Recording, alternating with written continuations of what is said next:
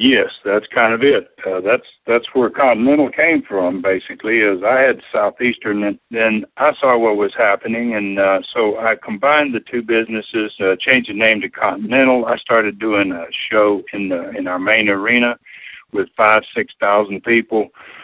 It made a big difference in the product I was out there, and it made me harder to compete with for Vince, and it probably helped me to last a little longer than most, and I probably uh, might have still been into wrestling had I not got into. I actually got into hockey after wrestling and, and uh, owned a couple of minor league hockey teams. And I've done a little bit of everything. Owned AGT dealership, had one of the most successful in the country, located in Tampa here, and it's just uh, I've done a lot of things in my life, uh, and I've been lucky. Most of them I've been pretty successful at.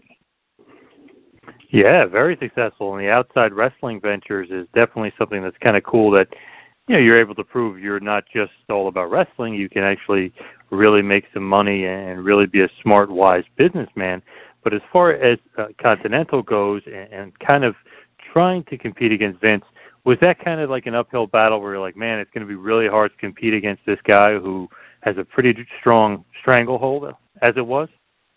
Yeah, I mean, obviously, you know, if you're a pretty smart guy, you see at that point when when when Vince got national television, then obviously he's going to be uh, he's in the driver's seat. Uh, everything was regionalized uh, for many many years. The National Wrestling Alliance is part of all of that, and everybody ran their own operations, but they tried not to put their television programs in somebody else's area uh, because it uh, it was just not done. And uh, Vince changed all that. Obviously, got the national program, and then he started to buy talent. Basically, he was picking up the best wrestlers in certain areas, and then he would take those guys back to wrestle against the guys that had developed them.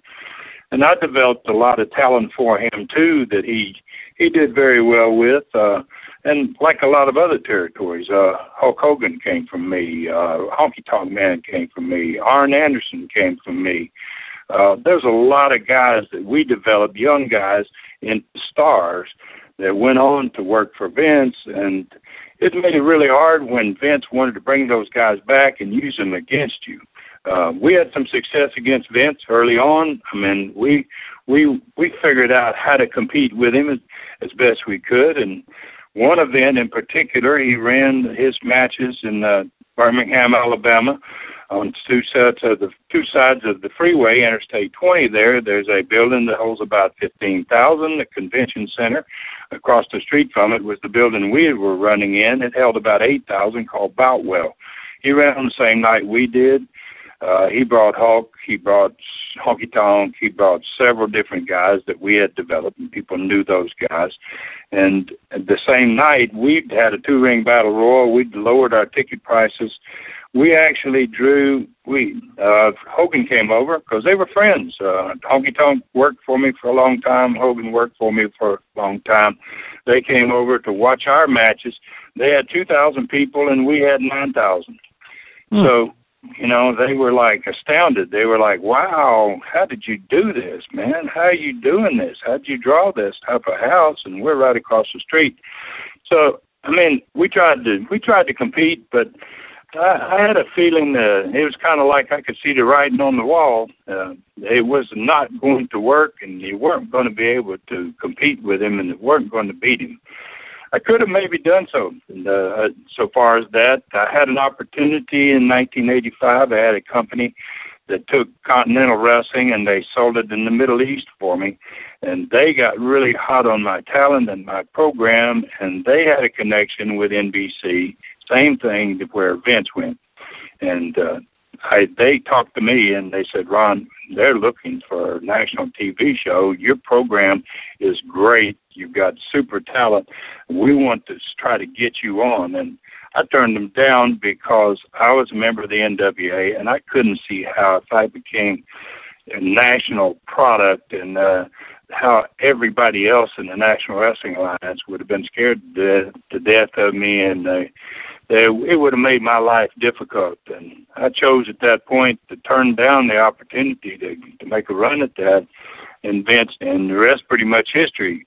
Um, and uh, you know, I'm not really pleased with where the wrestling business is today. I mean, you know, had it been handled there, someone else had got their foot in that door and handled it differently, I think it could be a whole different product than what it has become with Vince. So, do you follow current wrestling today? Or are you watching it, or you don't really care too much about it? I don't watch it.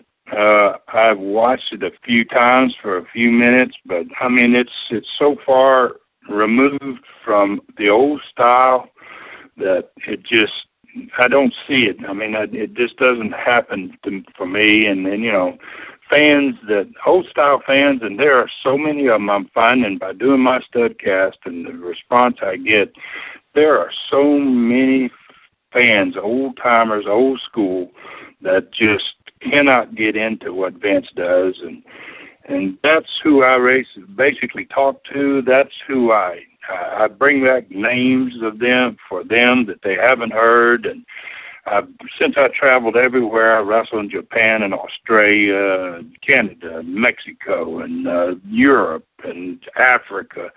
Uh, I've got great. I've been everywhere, so you know I have a I have a real feel for talent all over the world and what it was back in the old day. And once I got out in 1988 and sold Continental, I uh, within two years or less than two years, I, I owned two hockey teams, and and I was totally in a different direction.